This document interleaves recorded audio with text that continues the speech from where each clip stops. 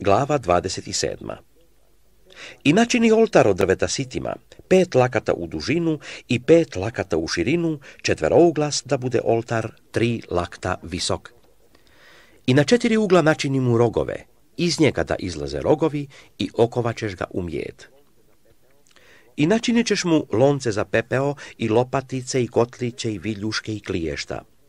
Sve mu posuđe načini od mjedi. I načini mu rešetku od mjedi kao mrežu. I načini u rešetke četiri biočuga od mjedi na četiri ugla njezina. I metnije ispod oltara u naokolo da bude rešetka do sredine oltara. Načini i poluge oltaru, poluge od drveta sitima i oku ih u mjed i poluge da se provuku kroz biočuge, da budu poluge s dvije strane oltaru kad se nosi. Načinit ćeš ga od dasaka da bude iznutra šupalj, kao što ti je pokazano na gori tako neka načine. I načinit ćeš trijem šatoru na južnoj strani, zavijesi trijemu da budu od tankoga platna uzvedenoga, sto lakata u dužinu na jednoj strani i dvadeset stupova i pod njih dvadeset stopica od mjedi, a kuke na stupovima i pasovi njihovi od srebra. Tako i sa zapadne strane da budu zavjesi sto lakata dugi i dvadeset stupova i dvadeset stopica od mjedi na stupovima kuke i njihovi pasovi od srebra a širina će trijemu imati sa zapadne strane zavjese od 50 lakata, 10 stupova za njih i 10 stopica pod njih. A na prednjoj strani prema istoku bit će trijem širok 50 lakata.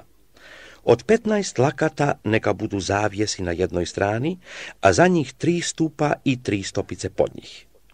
I na drugoj strani zavjesi od 15 lakata i tri stupa za njih i tri stopice pod njih a na vratima od trijema zavjes od dvadeset lakata, od porfire i od skerleta i od crvca i od tankoga platna uzvedenoga vezen i četiri stupa zanj i pod njih četiri stopice.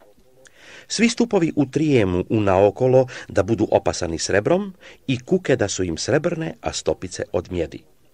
U dužinu će trijem imati sto lakata, u širinu 50 svuda, a u visinu pet lakata, da bude od tankoga platna uzvedenoga, a stopice od mjedi. Sve posuđe u šatoru za svaku službu i sve kolje u njemu i sve kolje u trijemu da bude od mjedi. I ti zapovjedi sinovima Izraelovim da ti donesu ulja maslinova, čistoga cijeđenoga za vidjelo, da bi žišci gorjeli svagda.